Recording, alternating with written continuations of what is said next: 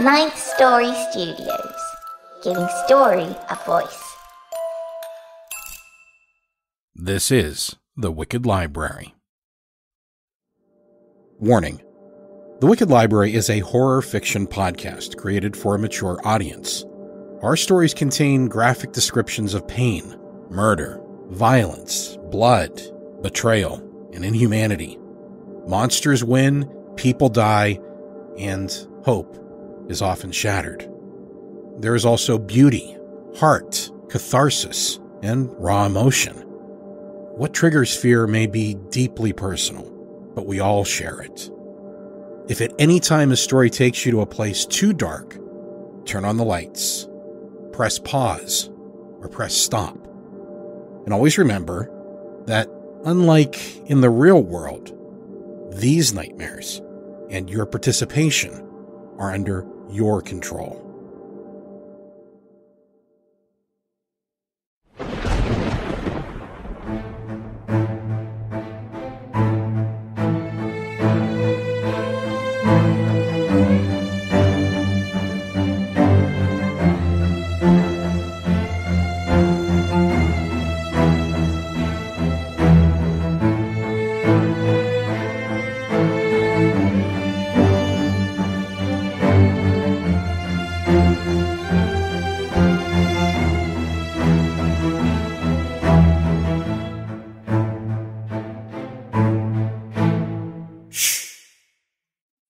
Hello, and welcome to the Darkness in Between, our interseasonal entertainment as we are hard at work on season 11. I'm Daniel Foytik, and I thank you for listening. A big thank you to those who took the time to rate the show five stars and write a short review for us on iTunes. Your reviews help others find the show, and of course, we love hearing from you. A big thank you to those of you who are supporting the show. Without you, this show would not be possible our authors, and everyone involved in making the show, thank you for your ongoing support of this show and of independent horror fiction. If you're not yet supporting the show, you can do that at patreon.com forward slash wicked library. For as little as $3 a month, you can keep making the show you love possible and get fun rewards. We really do rely on this support to help us pay the authors, voice actors, composer, and artists. We don't believe any of them should work for free, so we make sure that we pay them, and your support makes that possible. In addition to knowing that you're a part of making this show possible, you also get fun rewards like ad free episodes of the show at higher bit rates, access to bonus stories, and at higher levels of support, even more. You can do that at patreon.com forward slash wicked library. Lastly, we're excited to announce that we have started posting a weekly book review and recommendation column to thewickedlibrary.com. The column is called Fully Booked with Brianna Morgan, and you'll find reviews with a strong focus on indie and small press books. Head to thewickedlibrary.com forward slash booked to check it out, and watch our Twitter feed at Wicked Library for notices when new reviews post every week. And now, without further ado, let's get wicked. A Feast for St. Hubert by Patrick Moody. Get home, my full fed goats, get home. The evening star draws on. Virgil, Eclogues. Clear moonlight bathed the meadow, and Brother Gordon's aim was true. The arrow sank into his prey's neck, dropping at the moment it loped from the pine cover. It lay motionless, but that didn't mean it was dead. Gordon took a long draught of coffee from his thermos and readied a second arrow. Satisfied after a time, he climbed down from the stand and stalked through the grass until he came upon his catch. He gave it a push with his boot. The carcass had already begun to stiffen. Good. He examined it noting the blood and bits of gore flecked about the snout and beneath the jaw. In the beds of the claws, too. It had gotten into a scrape or had done its own hunting earlier. Gordon bound it in a tarp and rope and lugged it towards his truck, a good quarter mile down the old deer path. He'd wished he'd made his coffee a bit stronger.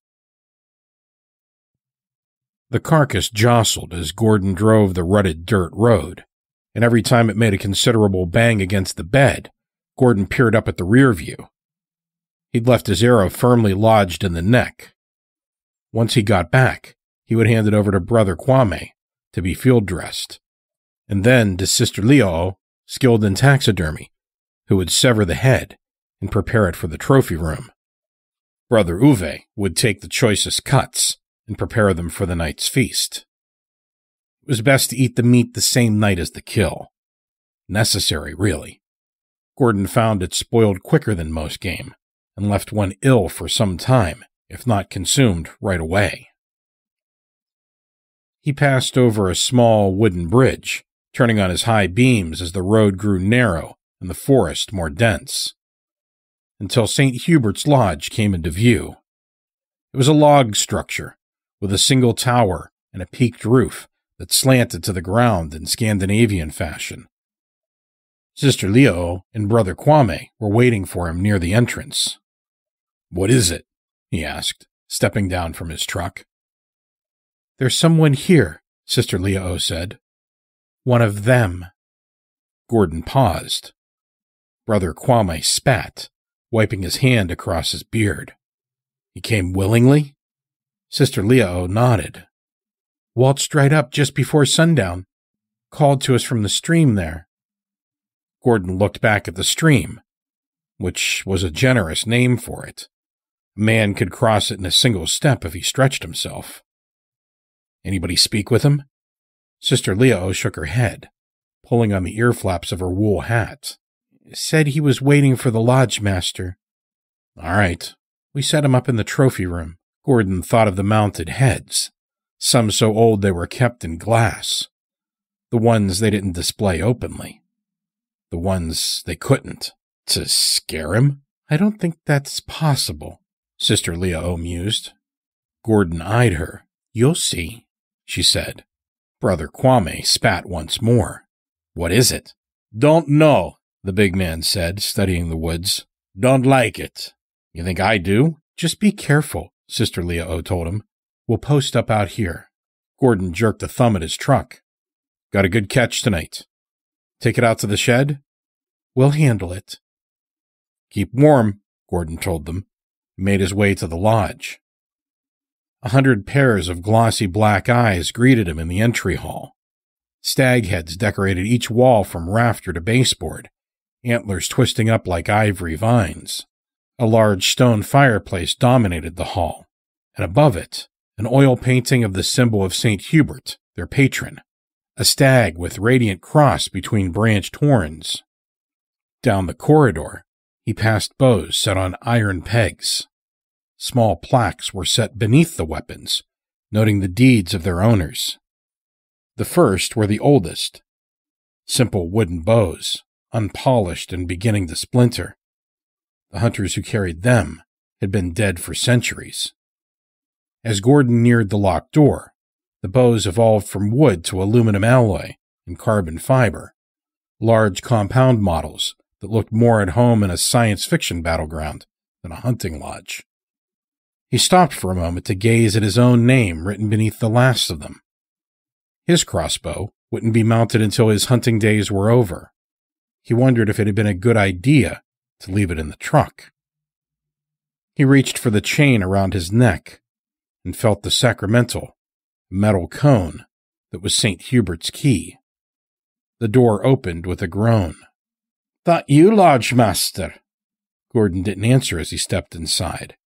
The heads looked down with fierce expressions, rage and disbelief in the last moments before death.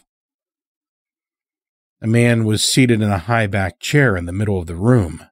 Leo and Kwame had lit several oil lamps along the walls.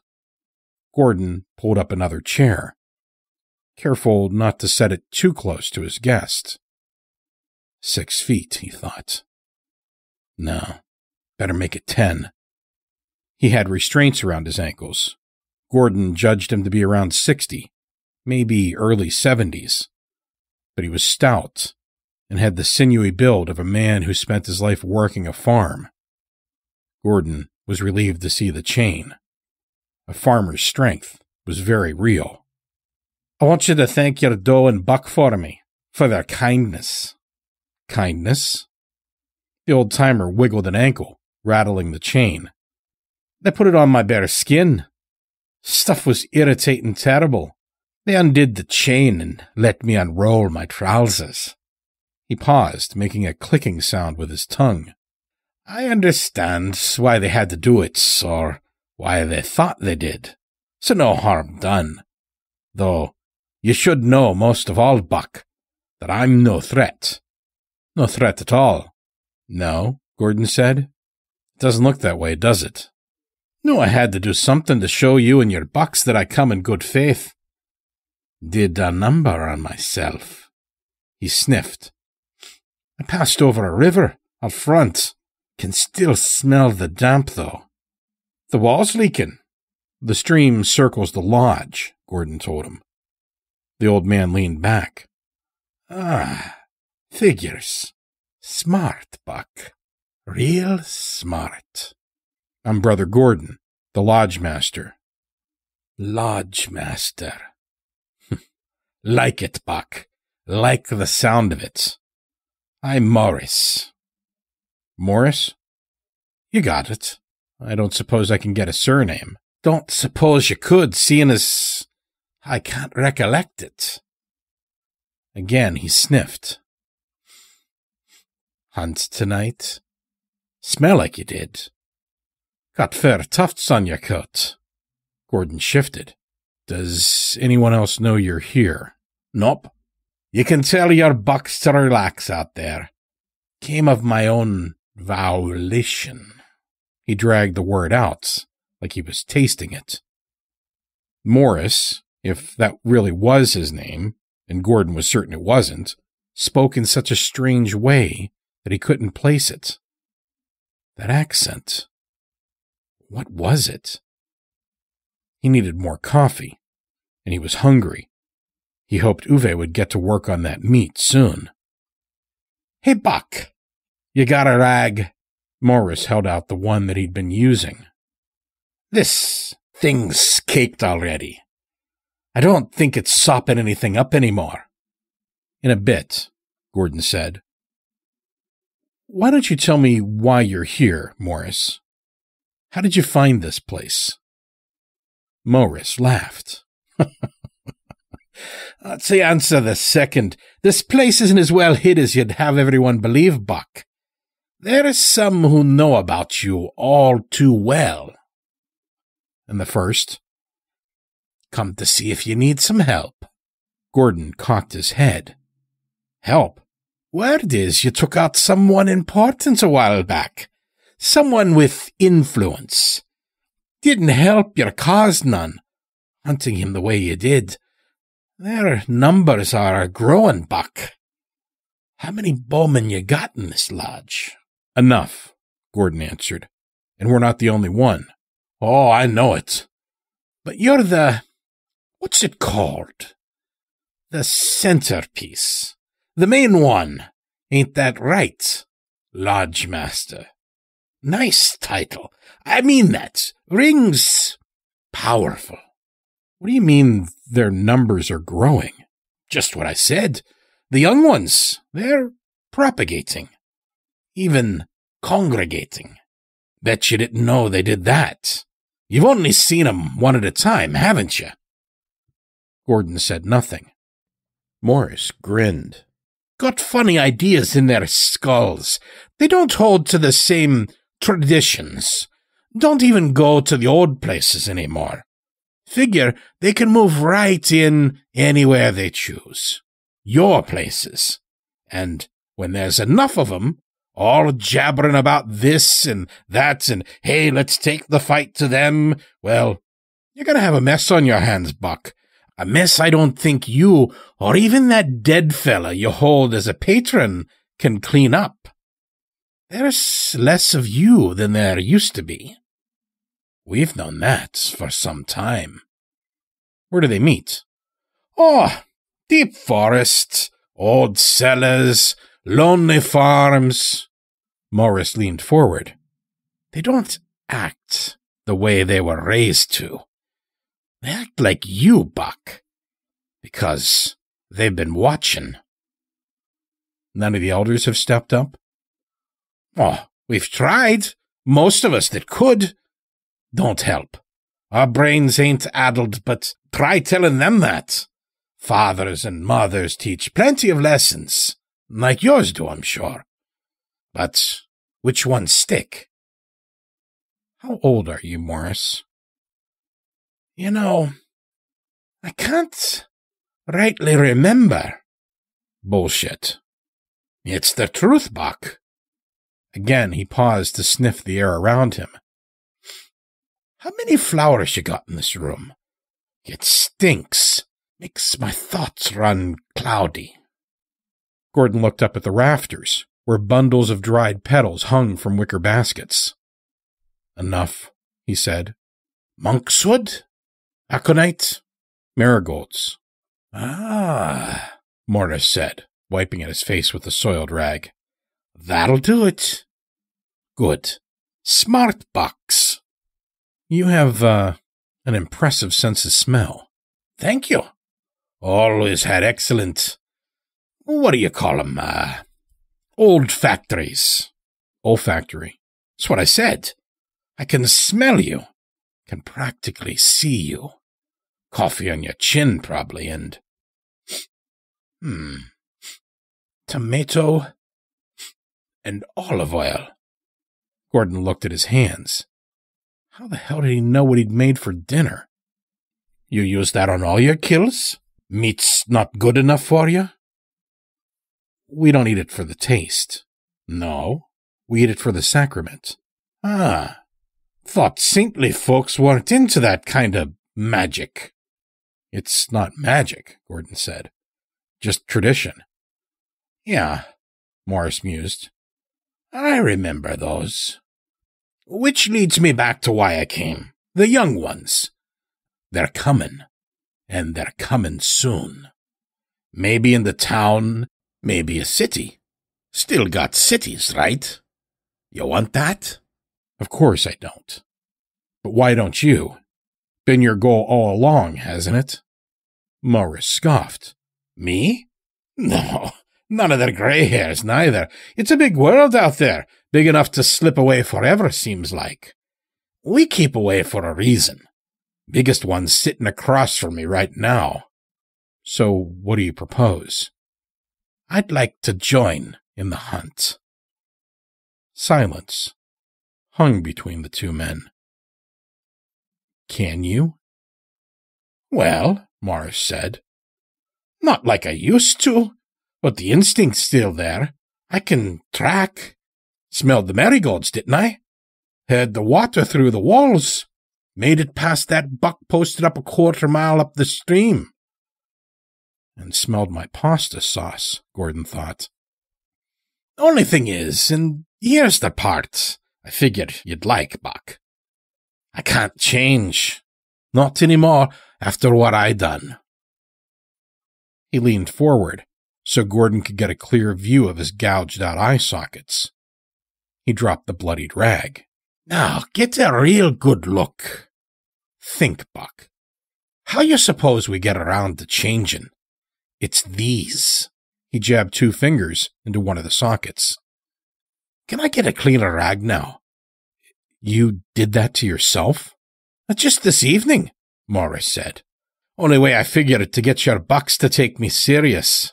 He sniffed. But not you. I can smell it. I'm right, aren't I? Think I'm, uh, what did you say? Bullshitter. I don't know, Gordon answered truthfully, uneased by the lengths to which Morris had gone in savaging himself. But, he said, there is a way for me to be sure.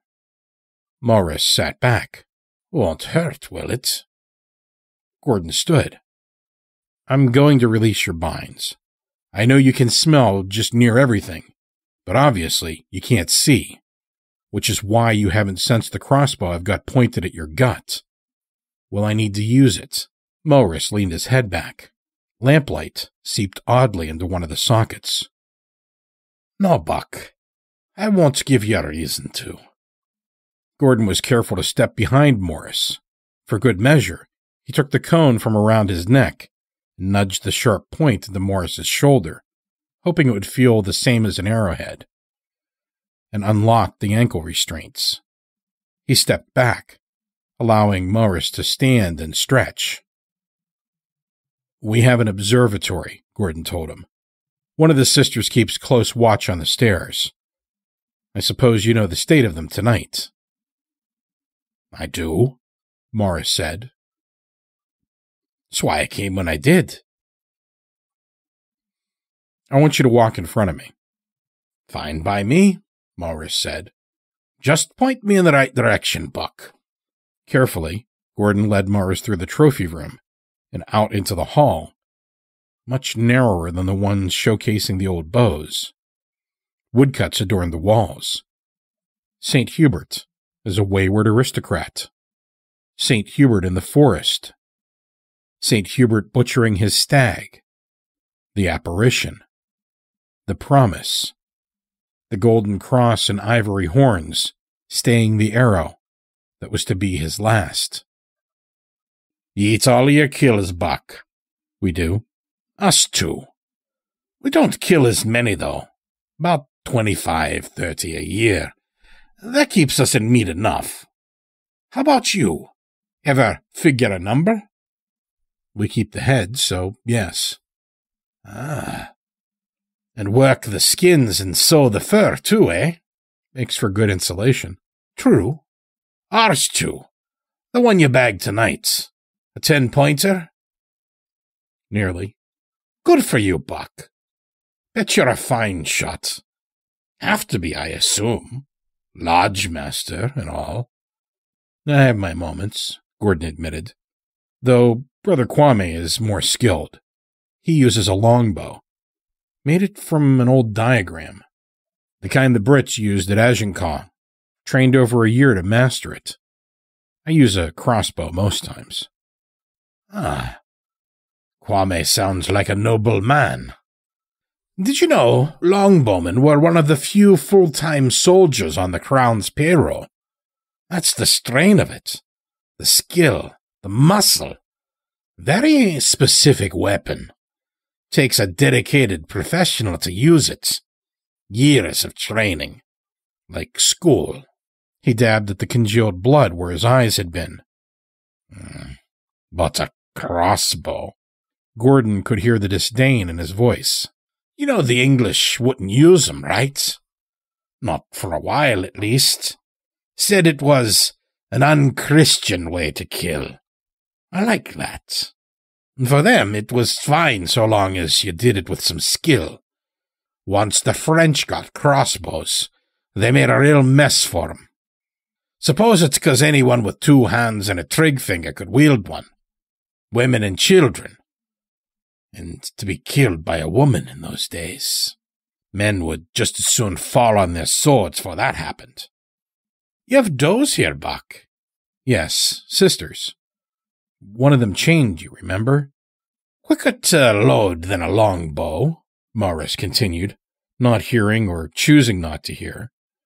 No training, so they killed and killed in the unchristian way. Oh, did they ever? Morris slapped his thigh with a hoot.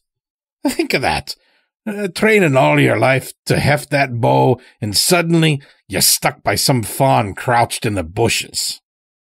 Thank you for the history lesson, Gordon said, wishing his crossbow truly were aimed at Morris's back.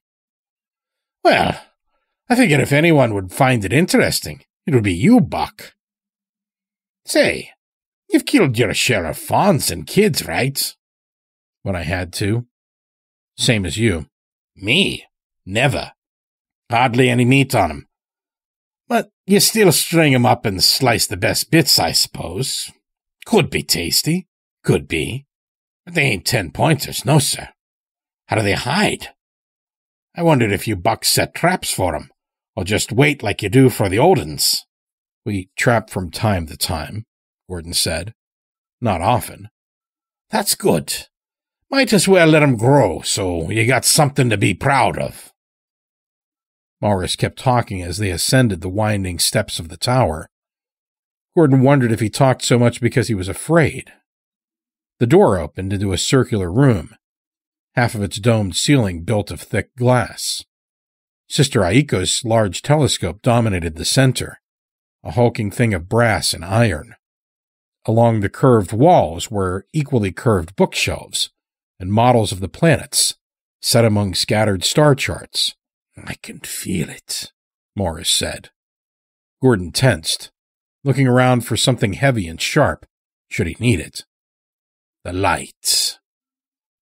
Calm yourself, Buck. I can feel the light is all. Like stepping out from shade and feeling the kiss of the sun. Morris took a few more steps until he stood center below the glass dome. Shall I? Still scanning for a suitable weapon, Gordon nodded, realized Morris couldn't sniff out a nod, then, his voice sounding weaker than he meant it, told him yes. Morris wiped one more time at his gouged eyes and held his face up to the moon. A strange smile turned his lips, and he held out his arms in salutation. Gordon watched his fingers, his neck, his ears, waiting. You know, he said, if it does happen, I have to kill you. Figured as much. Sweat ran down Gordon's neck. He grasped onto the cone sacramental for comfort. I still feels good, Morris said. At least there's that. After a few moments, Gordon relaxed. So Morris wasn't lying. He wouldn't change. Not anymore. Do you miss it? Not now, Morris said. But I will, Buck. I will. How much longer till your mind's eased? A bit, Gordon said, studying him. Just a bit. I can tell. I can tell you where the last meeting was, Morris said. You know that old farm off the interstate? The one that got gutted in the fire years back, and no one sought to mend it? There's a big root cellar there. Been expanded over the years. Right near their grain silo. They dig and mortar it, nights. Others put up support beams during the day. Gordon made a mental note and wondered how many brothers and sisters would be enough for the job, and how the job would even be attempted. They weren't exterminators. They'd never heard of anyone going after a group underground like that. It didn't feel sportsmanlike, and that bothered him. Reckon you could burn them, Morris said, moving in a slow, ambling circle in the moonlight. But that seems cruel, Buck. Real cruel. Do you know when they're meeting next? No, but I can find out. Track the leaders. Morris did something curious then. He held out his hand. Index, pointer, and ring fingers, Gordon noted, were of equal length. Partners of the hunt, Morris said. Gordon let go of the sacramental, extending his own hand in disbelief. When they clasped, what then? Had this ever been done before? Ever been tried? He looked to the moon and wondered what St. Hubert would think. Gordon found Morris's shake to be as strong as he assumed it was. Morris squeezed hard. He knew that men liked strong handshakes. He smelled the dried blood on Gordon's clothes. Just a hint. He doubted Gordon even knew it was there. A shrill cry echoed somewhere deep in the lodge. Teeth sank into Gordon's shoulder, the immense pressure cutting into his tendons. He felt a pop, and his legs failed. Above him, Morris shook his head, letting the skin and muscle fly about the observatory. Without pause, he bent down, grabbed Gordon by the neck, and lifted him. Lifted him high, much higher than a man so old should have been able to do. He punched Gordon in his liver, again, again, again. Don't need the eyes, he was laughing. Moonglow runs deep in the blood. Is your St. Hubert looking down? Ha! I think he'd be looking up. I'll dig him out of that grave and find out just how well he's kept watch. Gordon tried to speak, but his severed tendon prevented him from moving his mouth. My nerves, he thought maniacally. He's damaged my nerves. I wanted to be here for the feast, Morris said. You bucks were having one tonight, yes? Gordon could only moan. He felt tears well in his eyes but they dribbled down numb cheeks. Oh, Buck, Morris said softly, and put him to sleep. Laughter rocked the dining hall. Gordon awoke at the head of the table, slumped in the lodge master's chair. He didn't recognize the men around him. They satiated themselves like Roman revelers, hands moving fast among the plates and bowls, the cups overrun. Everything stank of blood. He is awake, one of them said, and stabbed a cut of meat, offering it with his fork. Our buck doesn't look hungry. A hand fell on his shoulder, and he found Morris behind him.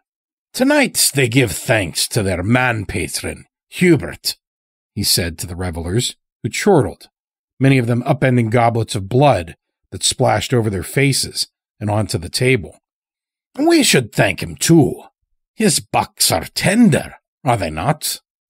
Gordon looked around the room, trying to make sense of the madness. Those are the best, said a man with a big red stained beard. His eyes were like the yolk of an egg. Lucky we found two. he turned to share a chuckle with his companions, giving Gordon a full view of the arrow lodged in his neck. My arrow. Gordon scanned the room trying to see over the dim glow of lanterns and candles, the smoke, the steam rising from plates of viscera and intestines and choice flesh. The exit was thirty paces away. Did his legs still work? He moved them to make sure. His truck was parked just outside. The crossbow should be resting on the passenger side floor. Three arrows were loaded, and the quiver was beside it. If he could make it, there might be a chance, at least enough to give himself time to make a call and take some out before they fell upon him. Walk with me, Morris whispered, his mouth just behind Gordon's ear. His breath smelled of iron. The diners bade him good evening, chewing open mouthed and gesturing with pieces of snapped bone as Morris led him from the dining hall and down the corridor to the trophy room. Impressive, the eyeless elder said, feeling the bows on the walls as he passed. I looked for your crossbow in the observatory. Funny, I couldn't find it. He opened the door, shoving Gordon in first. Simeon field dresses him. Does an excellent job rendering the skin from the muscle. Real clean. He tans the hides and makes fine clothing. Sislav boils the bones. He has a keen interest in them. Says hunters' bones produce the best marrow. I told Virgil once. He didn't believe me. The trophy room was dark. Gordon walked carefully, just as blind as Morris. Galen is uh, our best taxidermist, Morris said. You know what he does? He stuffs the heads with a poultice that has marigolds in it. I thought you'd like that. He takes great pride in his work. A match flickered to life, and with it the wick of an oil lamp. Light flooded the room, casting long shadows across the floor. Look, Morris said, we've hunted well tonight. You eat flesh to honor your sacrament. Do you know why we eat it? Gordon was no longer listening He could only stare up at the wall mounts, where heads of wolves had become faces of men. Today's author was Patrick Moody with his story, A Feast for St. Hubert. Today's story was told by Daniel Foytik. That's me. To find out more about today's author, please visit thewickedlibrary.com and look at Patrick's bio page. Our lead editor and executive producer is Scarlett R. Algee. Our resident composer and executive producer is Nico Vettese of We Talk of Dreams. Artwork for today's episode was created by Jeanette Andromeda, our art director and executive producer. Our showrunner and producer is Daniel Foytik. That's me. The Wicked Library is created by Ninth Story Studios. All rights reserved.